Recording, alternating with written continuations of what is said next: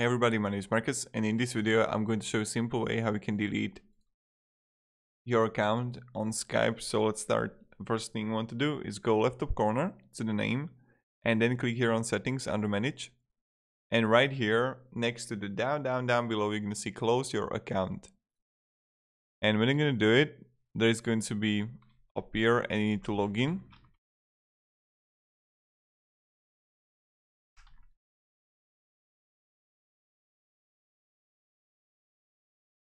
I forgot the password. Is I need to get a code first.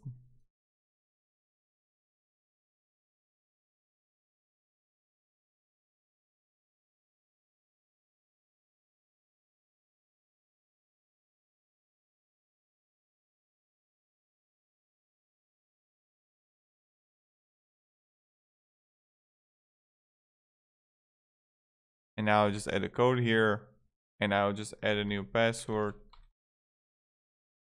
And this is how you can simply delete your account. Okay. Again, I'm going to sign in.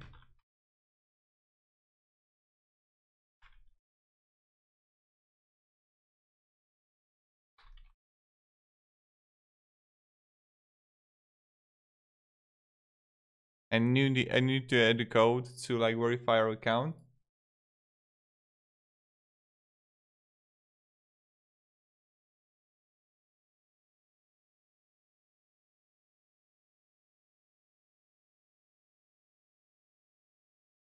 And then you can simply change.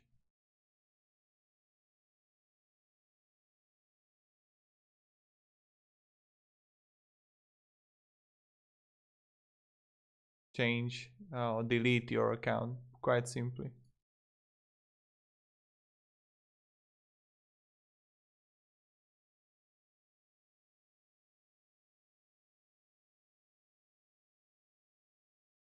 Okay here we go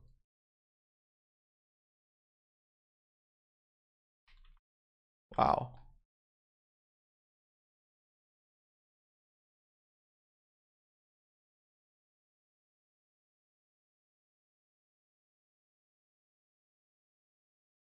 Wow.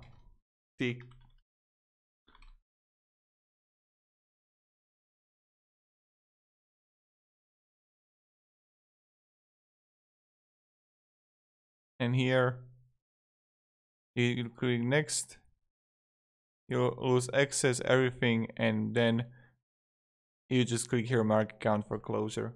So this is pretty much it how you can close your account. And yep. Have a great day and goodbye